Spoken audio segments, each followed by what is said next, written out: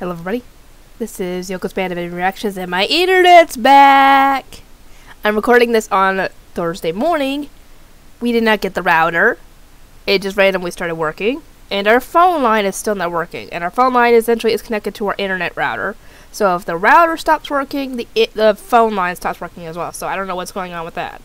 So we'll have to. And as for why I'm not wearing my ring, it's because I did. I took it off before I went to work yesterday because there have been times where I've bumped the, I've knocked the ring against something hard, and I'm, you know, I don't want to damage it, so I took it off so that way I wouldn't get it broken. Because I don't have insurance to fix it.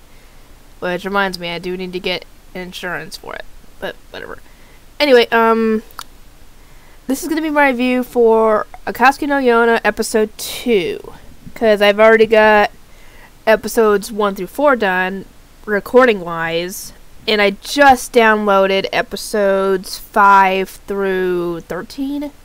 So I wouldn't have to, you know, hopefully download more anytime soon just in case. Anyway, um, yeah, this episode. I felt so bad for the servant who helped, uh, Hak and Yona escape. I know that if he hadn't done it, they might not have been able to escape, at least as early as they did. But yeah, I still felt bad that he had to die. Why did he have to die? He why couldn't he have gone with them? He would have been a great he would have been a great ally because that he would have known them from the start. Because all the other allies that they gathered, as far as I know, uh, don't know her. So they have to get to know her, you know.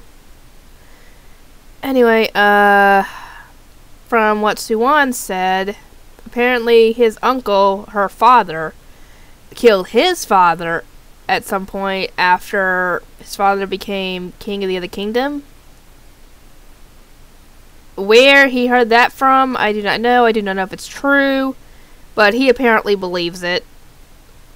Whether he's just saying that as a reason as to why he's doing this, it remains to be seen. Because yeah, we don't know what's true anymore, what's not, because we can't basically can't question her father at this point because he killed him.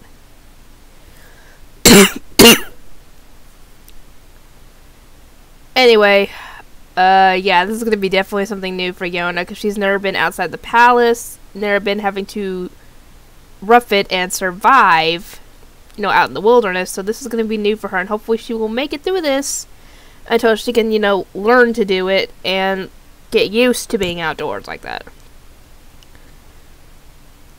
Anyway, oh my god. Poor girl never knew what was going to happen. And then again, neither did I. I didn't know either, yet I had my suspicions about Suwon.